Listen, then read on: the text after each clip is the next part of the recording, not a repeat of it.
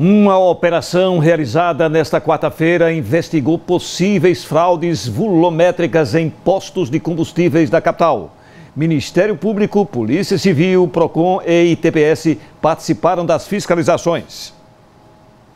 A operação do Ministério Público envolveu órgãos como ITPS, PROCON e Polícia Civil.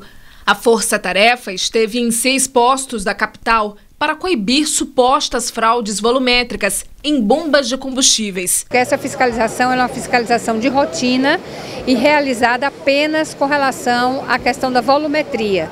Né? É saber se aquilo que o consumidor está comprando, que está abastecendo o seu veículo, corresponde exatamente àquilo que está especificado na bomba de combustível. A ação partiu de denúncias de consumidores ao PROCON e Ministério Público. Os relatos eram de que o cliente pagava por uma quantidade de combustível mas na prática, o volume cobrado não era contabilizado no painel do veículo. A contestação por parte do consumidor deve ser feita através de nota fiscal. Eu sei que as pessoas às vezes passam para abastecer naquela correria, acabam nem pegando a nota fiscal. Então exija a sua nota, guarde, porque é a prova que tem de que você abasteceu naquele local, naquele dia, naquele horário.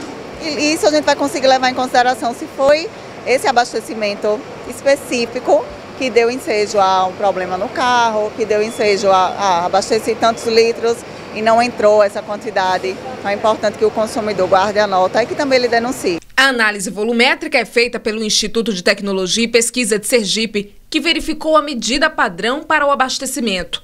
O funcionamento das bombas é aferido por um medidor de volume. Então, como é que é feito? Primeiro, uma inspeção visual.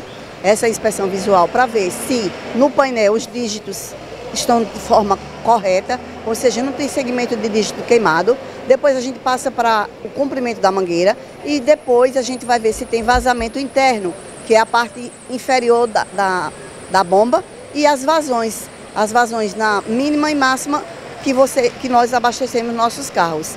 Então aqui a gente detecta se o consumidor está sendo lesado, ou seja, se ela está medindo abaixo de 100 ml, que é a nossa medida de volume, ela está lesando o consumidor. Acima de 100, o proprietário do estabelecimento está sendo lesado. No caso de suspeita de irregularidades, o trabalho da polícia é na abertura de um inquérito policial para a investigação de supostos crimes. Como se trata de volume, o posto pode responder, por exemplo, por estelionato. Quando há alguma questão de, de qualidade, como mistura de metanol, existe um crime específico é, contra o consumidor, é, em caso de volume é, não adequado, né, abaixo do que o cliente, do que o consumidor está pagando, também existe outro tipo penal.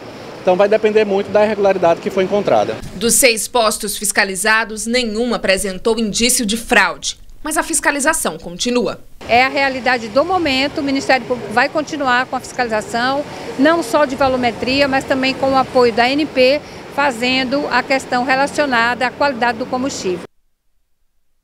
Olha, o Ministério Público também precisa fiscalizar mais duramente essa questão dos preços dos combustíveis aqui em Aracaju.